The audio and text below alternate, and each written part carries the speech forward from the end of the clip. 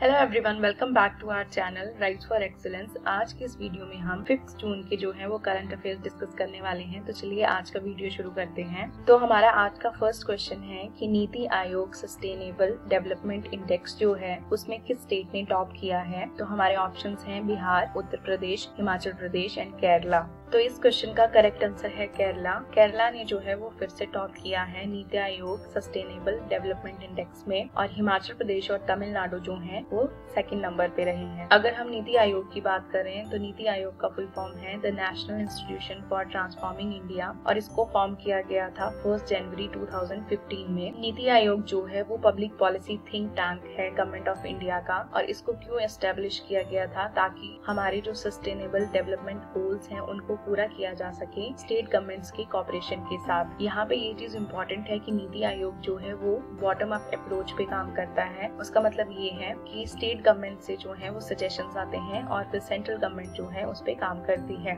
अगर नीति आयोग के सीईओ की बात करें तो वो है अमिताभ कांत। फॉर्मेशन की बात करें तो वो हुई थी फ़र्स्ट जनवरी 2015 में। हेडक्वार्टर्स जो है वो है न्यू दिल्ली में और नीति आयोग के चेयरपर्सन होते हैं नरेंद्र मोदी, यानी कि प्राइम मिनिस्टर ऑफ़ इंडिया हमारा नेक्स्ट क्वेश्चन है कि international day of innocent children victims of aggression जो है वो कब मनाया जाता है? तो हमारे ऑप्शन है fourth June fifth June third June and first June तो इस क्वेश्चन का करेक्ट आंसर है फोर्थ जून फोर्थ जून को जो है वो ये डे मनाया जाता है। इसको एस्टेब्लिश किया गया था 19 अगस्त 1982 में। और अगर आप इसका पर्पस देखें तो इसका पर्पस है कि वो बच्चे जिनको मेंटली या फिजिकली या इमोशनली अब्यूज किया जाता है, जो इस चीज़ के विक्टिम्स हैं, उनके पेन को जो है एक्नॉलेज करना कि उनको किस तरह से जो है वो सफरिंग सहनी पड़ती है। और और इस डे को जो है वो इसलिए मनाया जाता है ताकि लोगों को ये पता लगे कि जो बच्चे हैं वो कैसे सफ़र करते हैं, उसका क्या इम्पैक्ट होता है उनके ऊपर और जो बच्चे हैं उनके राइट्स के बारे में भी लोगों को पता चले। हमारा नेक्स्ट क्वेश्चन है कि किस कंट्री ने जो है first human case H one zero N three bird flu का जो है वो रिपोर्ट किया है? हमारे ऑप्शन है India US Germany and China तो इस क्वेश्चन का करेक्ट आंसर है चाइना चाइना में जो है वो फ़र्स्ट ह्यूमन केस आया है इस H one zero N three bird flu का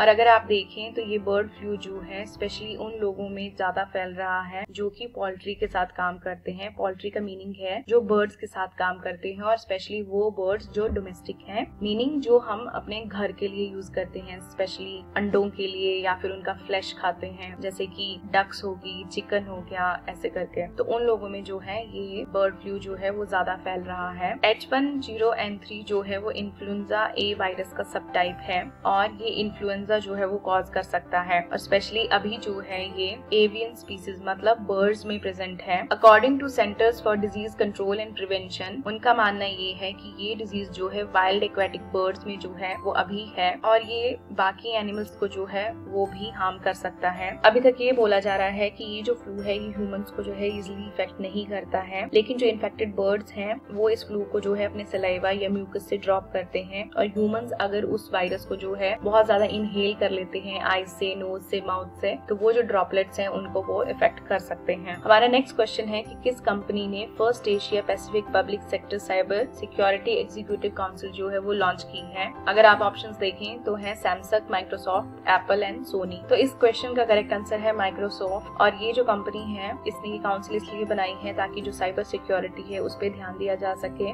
इसमें जो है अलग अलग गवर्नमेंट एंड स्टेट एजेंसी से जो है, वो पॉलिसी मेकर्स जो है, साथ में काम करेंगे। इस काउंसिल का जो एम है, वो है पब्लिक प्राइवेट पार्टनरशिप जो है साइबर सिक्योरिटी उसको एक्सलेट करना, उसको स्ट्रॉन्ग करना, ताकि ये जो साइबर अटैक्स होते हैं, इन पे ध्यान दिया जा सके। अगर माइक्रोसॉफ्ट की बात करें तो ये अमेरिकन मल्टीनेशनल टेक्नोलॉजी कंपनी है और इसके जो हेडक्वार्टर्स हैं, वो है वॉशिंगटन में। अगर इसके फाउंडेशन की बात करें तो फोर्थ अप्रैल 1975 को जो है, इसको बनाया गया था यूनाइटेड स्टेट्स में। इसके सीईओ जो है, वो है सत्या नडेला और इसके फाउंडर्स जो है, वो है Bill Gates and Paul Allen हमारा नेक्स्ट क्वेश्चन है कि रिसेंटली किस कंट्री का जो है लार्जेस्ट वॉरशिप खाट जो है वो गल्फ ऑफ़ ओमान में डूब गया फायर के कारण। हमारे ऑप्शन है Oman Saudi Arabia Iran and Sudan तो इस क्वेश्चन का करेक्ट आंसर है ईरान ईरान का जो लार्जेस्ट वॉरशिप खार्क था वो आग लगने के कारण जो है गल्फ ऑफ़ ओमान में डूब गया है। लेकिन अच्छी बात यह है कि किसी की भी जान नहीं गई है। ये यहाँ का जो है नेवी का सबसे लार्जेस्ट वॉरशिप था। अगर हम ईरान की बात करें तो ईरान को जो है पर्शिया भी बोला जाता है और ऑफिशियली इसको बोला जाता है the Islamic Republic of Iran ये कंट्री जो है वेस्टर्न एशिया में है। इसकी कैपिटल है तेहरान इसके प्रेसिडेंट है हसान रोहानी करेंसी है ईरानियन रियाल ऑफिशियल लैंग्वेज जो है, वो है पर्शियन और ईरान जो है, वो अपने आर्किटेक्चर के लिए बहुत फ़ेमस है। हमारा नेक्स्ट क्वेश्चन है कि जो महाराष्ट्र गवर्नमेंट है, उसने कितना परसेंट रिजर्वेशन अनाउंस किया है मराठास कम्युनिटी को, जो ईडब्ल्यू e कैटेगरी में आती है? तो हमारे ऑप्शन है twenty percent ten percent fifty percent and forty percent इसका करेक्ट आंसर है टेन परसेंट ईडब्ल्यू की फुल फॉर्म देखें तो इकोनॉमिकली वीकर सेक्शन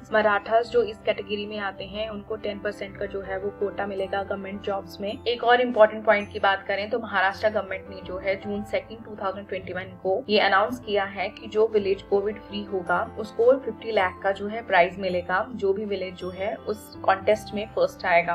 अगर महाराष्ट्र की बात करें तो महाराष्ट्र जो है वो इंडिया का सेकंड मोस्ट पॉपुलर स्टेट है। इसका कैपिटल है मुंबई गवर्नर है भगत सिंह कुशियारी चीफ मिनिस्टर है उद्धव ठाकरे, इसका स्टेट एनिमल है जाइंट स्क्वेल स्टेट बर्ड की बात करें तो ग्रीन इम्पेरियल फिजेंट है, स्टेट ट्री जो है वो मैंगो है और स्टेट फ्लावर है ज़रूर। चलिए अब कल के क्वेश्चन की बात कर लेते हैं। हमारा कल का क्वेश्चन था कि किस स्टेट गवर्नमेंट ने जो है उड़ान स्कीम को लॉन्च किया है इंटरनेशनल मेंस्ट्रुअल हाइजीन डे के ऊपर।